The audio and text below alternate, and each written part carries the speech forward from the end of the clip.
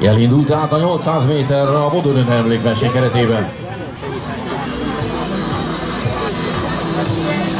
Mindig Balázs ugye világos felsőben és sötét nadrágban. Itt a felirattal már is ott van a második helyen. Azonnal kijött a bolyból. Itt most már csak az is kizárólag az lesz a kérdés majd, hogy iramot mennek-e, és aztán onnan próbálkoznak valami jó idővel, vagy pedig taktikai verseny lenne, de én azt hiszem, hogy sokkal inkább ilyen időjárási körülmények között, ilyen mezőnyben időre kéne majd menni, de ez az én okoskodásom. Balázsnak hozzák föl, Vörös Márk az útversenyzője, a klubtárs adja az első 400 métert, szerintem már ki is számol, 52-53 a részidő.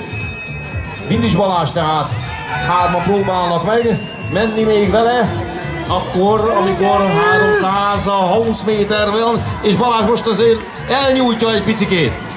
Na nézzük akkor, Zemel János tanítványa, az utolsó olyan magyar középtávfutak, olimpiai döntőt futott 1976-ban Montrealban, 1500 méteren. Mindis Balázs fönn 200 méternél. Gyere, gyere! Gyerünk gyerekek, tolni még egy picikét, lehet ebből még valami nagyon jó idő, még akkor is, hogy a Balázsnak egyedül kell futnia, de ő ezt már gyakorlatilag megszokta. Jön az utolsó 110 méter, akkor amikor 1.33-nál vagyunk. Jöjjön egy kis taps, gyerünk gyerekek, gyerünk még egy kicsit Balázs, gyerünk, toljunk bele még!